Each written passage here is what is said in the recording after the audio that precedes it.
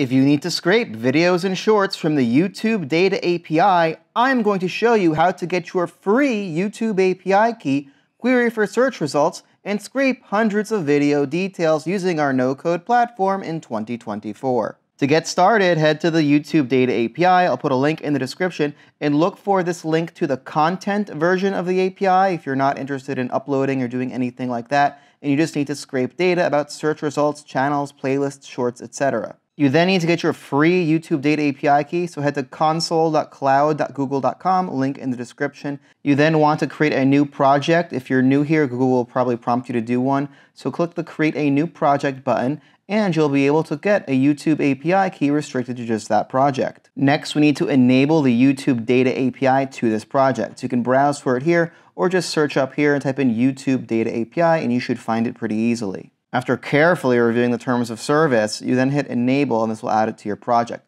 So this is totally free. You don't even need to add payment details for this to work. We then go to credentials and then we have to go up here for this button called create credentials on the top of the screen and you click it and it will create your API key after a few seconds. So you can copy this to start using it right away, but if you lose it, it'll always be here. So it's not one of those things where they only give it to you once. It'll be here if you forget it. You just click show key here on the right when you come back. And if your key is compromised, like by sharing it in a YouTube video like this one as I'm doing, you can delete your key you can also add some restrictions if you're a little bit paranoid, but honestly, unless you share your API key with someone else, you probably don't need to worry about this. But if you're part of an organization, it may be a good idea to restrict your API key to certain IP addresses like those from your office. To test the API key, you can put it in your favorite client like Postman or this Stevesie Data platform as I just did.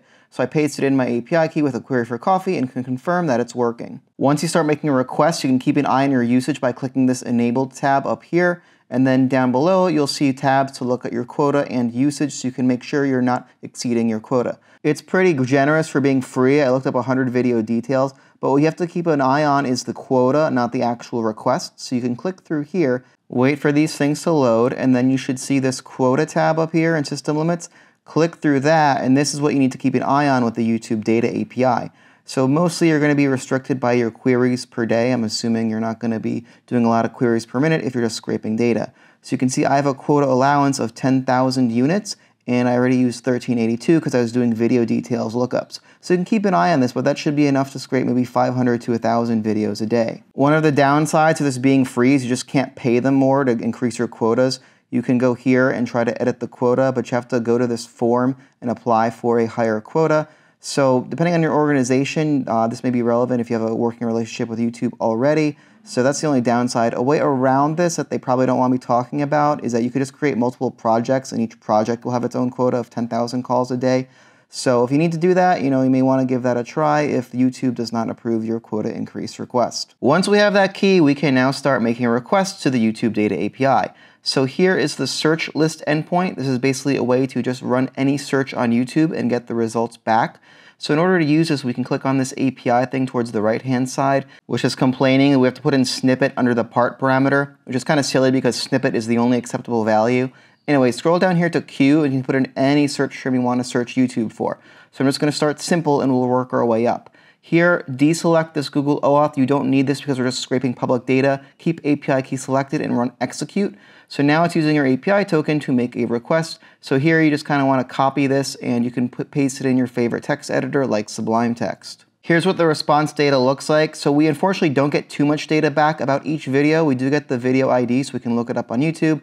We can see when the video was published, the channel ID who published it, the title of the video, and a partial description. That's only going to be the first maybe 100 characters or so. You get a link to the thumbnail. I know that can be pretty useful if you want to see what kind of thumbnails people are using for SEO. And you can watch the video by copying this video ID here, which is in the snippet ID tag, and then going to any YouTube URL and just plotting the YouTube ID in the URL where it says V equals, and you'll be able to watch the video if you'd like. Another great feature of this API is that it only returns five results per request at a time by default.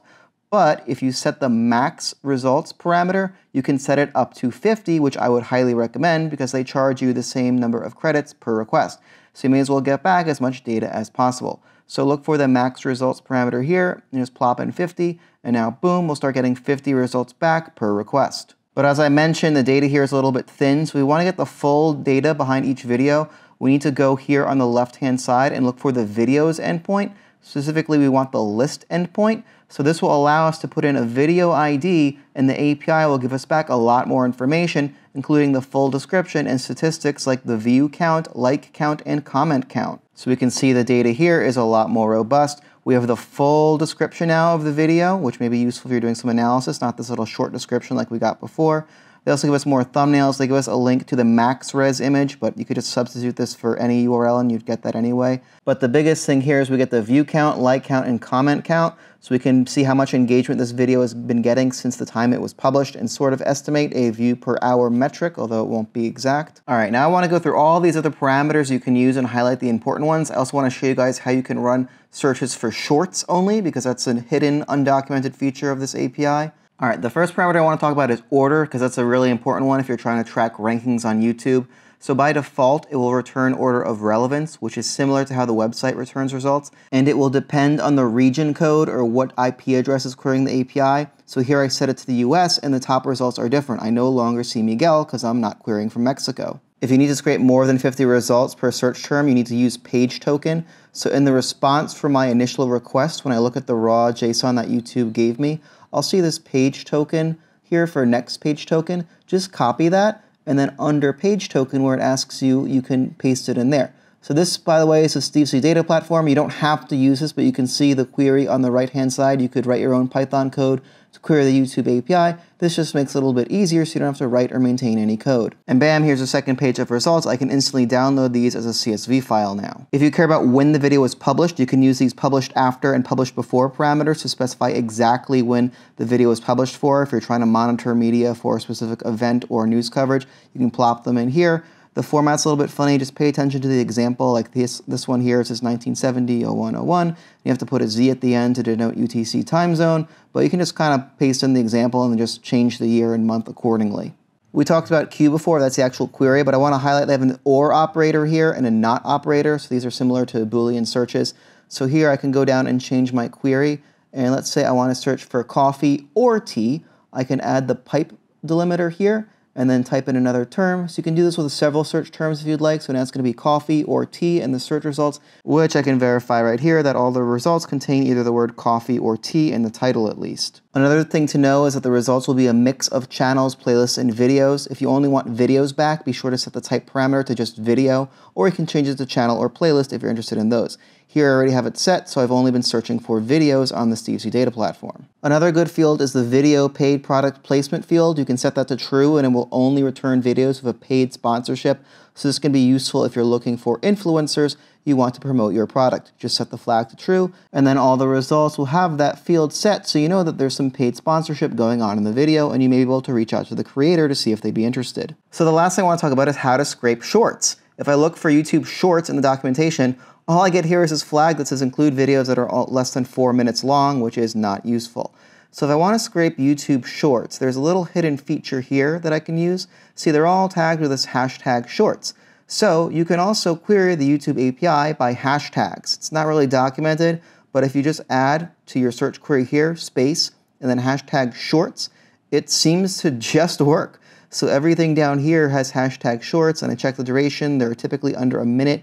You may get a few that just have that hashtag randomly there, so you may want to filter it out and check the durations to be 100% sure you're only looking at YouTube shorts. So those are the basics. If you need to scrape bulk data, like getting YouTube search result video details, this workflow here will do that for you. This is a paid feature though of the Stevesie Data platform, link in the description. This will run a search and then look up all the video details for everything in the results. So you can download a combined file showing you the statistics like view count, like count, etc. for all of the videos matching your search term using the official YouTube Data API. If you're interested in learning more, check out the link in the description. Or let me know in the comments if I missed something or you want to see more parts of the YouTube Data API in 2024, and I'll be happy to cover those components of how to use the API. Thank you very much for watching and have a wonderful day.